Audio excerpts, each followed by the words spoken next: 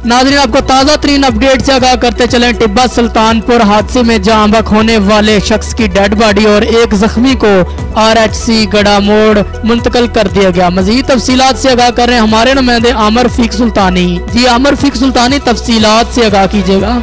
जी टिब्बा सुल्तानपुर हादसे में जहाँ बहक होने वाले शख्स की डेड बॉडी और एक जख्मी को आर एच सी गड़ा मोड़ मुंतकिल कर दिया गया। रेस्क्यू जराए टिब्बा सुल्तानपुर हादसे में दो शदीद जख्मियों को डी एच क्यू बिहाड़ी मुंतकिल किया जा रहा है रेस्क्यू जराए।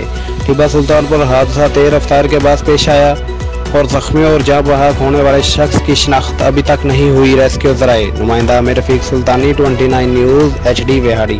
आमिर रफीक सुल्तानी, आपका बहुत शुक्रिया।